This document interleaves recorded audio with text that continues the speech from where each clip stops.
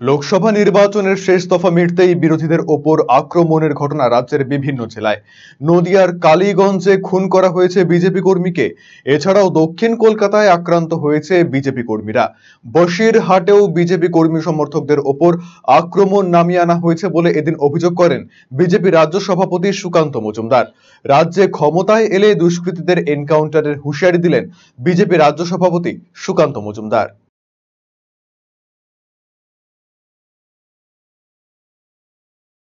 দেখুন ভোট পরবর্তী হিংসা বসিরহাটে শুরু হয়ে গেছে, নদিয়াতে শুরু হয়েছে, দক্ষিণ কলকাতা, অর্থাৎ কলকাতার প্রাণকেন্দ্র সেই জায়গায়, সেখানে আমাদের কর্মীদের মাথা ফাটানো, চমকানো চমকানো এগুলো শুরু হয়েছে, কারণ তৃণমূল কংগ্রেস বুঝতে পেরেছে তাদের সময় আসন্ন।